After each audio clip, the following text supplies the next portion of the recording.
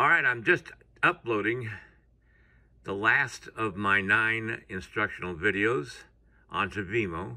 I haven't put the password in yet for the uh, this video. They're all private videos, so that you can only see them if I send you a link and uh, the password so you can open it up and watch it. So anyway, I've got uh, over nine videos on my Vimeo uh, that are uh, protected with a password on each one. Um, I've got 10, actually 11 videos, and if you purchase all nine of the listed videos, you get two extra uh, videos, uh, full videos, as a bonus. I give you a link to my blog where I have all nine of my videos, let's see, shown. And you can see a review of each of these videos uh, here on this uh, blog. And off to the right is a drop-down menu where you can order my videos. It says DVD, but it's actually video that you're purchasing, a, a streaming video off of Vimeo. And if you select all nine videos, uh, you uh, get two extra videos right now. I got, I think I'm going to have a third bonus video uh, added. All this is uh, for you on my uh, instructional videos. All right, let's get busy sculpting. Time to play with some clay.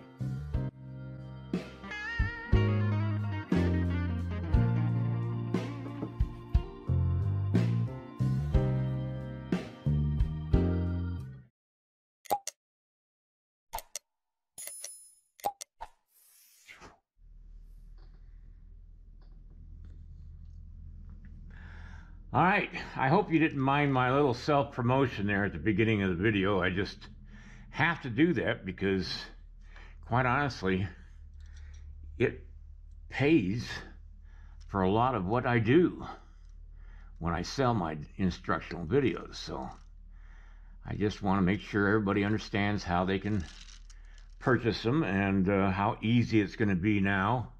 I just sold uh, uh, a... video to a gentleman in Great Britain, and uh, it took, what, five seconds to email it to him. He didn't have to pay any duties or anything on uh, uh, receiving his video, but he also requested if I would send it to his daughter uh, the day after Christmas, which would be Christmas Day here. And I said, absolutely. And I got her address and I'm going to send it out uh, on uh, Christmas Day. And anybody wants to buy a Christmas present for their son or daughter or mother or father or whatever, husband, wife who's into sculpting, uh, it's a good gift. And I'll be glad to uh, email it to them on Christmas Day.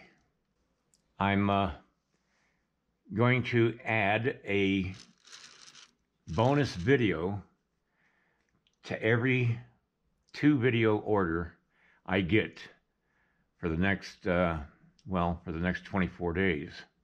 25 days, in fact. You can order it on Christmas Day if you want um, as a Christmas gift, and I'll bonus you a video when you purchase more than one video. So, if anybody has any questions, feel free to ask.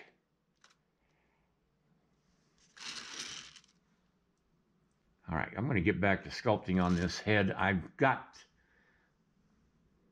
about an hour I can work on this, and because I'm going to dinner, I got a call just a few minutes ago, and they want to take me to dinner. Some friends of mine, so uh, that's what I'm going to be doing. And so I'm going to cut away from here now and uh, come back uh, when I get a little further along.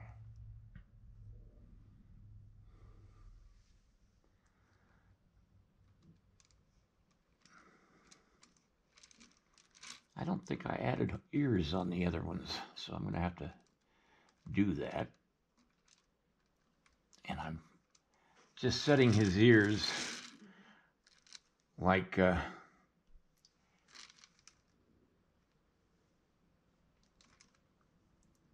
he's listening behind him because of what's going on. And I'll adjust that when I get these horses all together. I just thought I'd do that here. This is fun. I'm having a lot of fun doing this. And uh,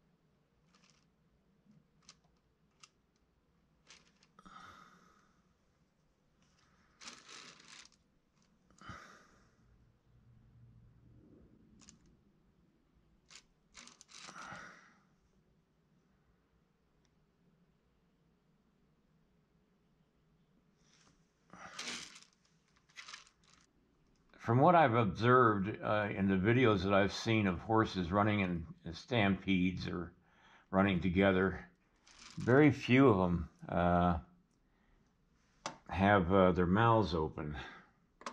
And that's why I'm not opening their mouths in this piece.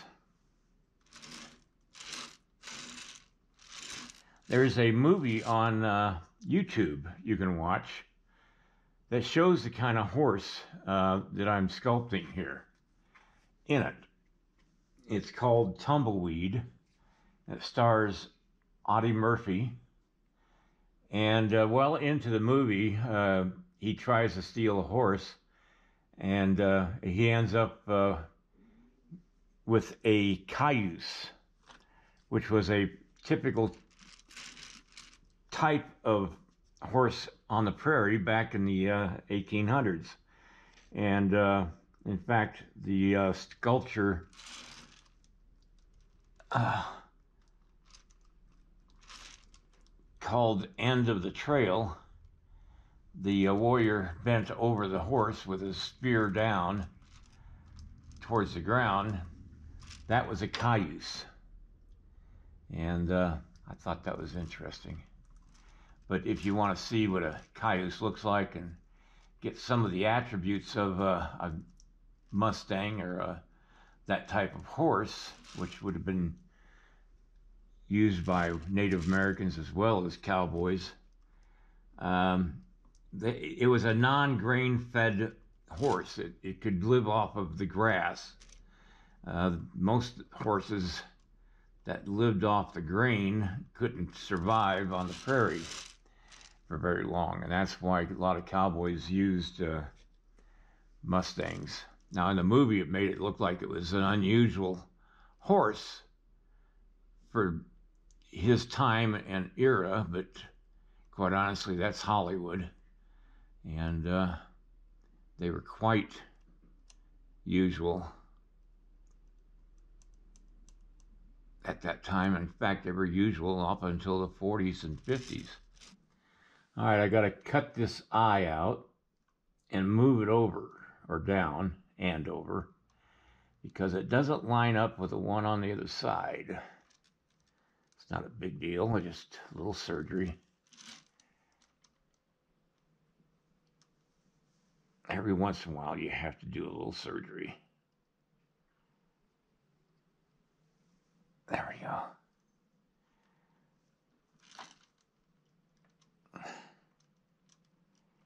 That's better. It's just a fraction of an inch, but it makes a difference. Uh, you want the eyes to be at the same level and the same height on the head. And no matter how careful you are, you every once in a while can screw it up. And I did. Okay, now just blend it in and it'll be like it was never cut apart. So I got about, well, maybe an afternoon of working on this uh, horse head.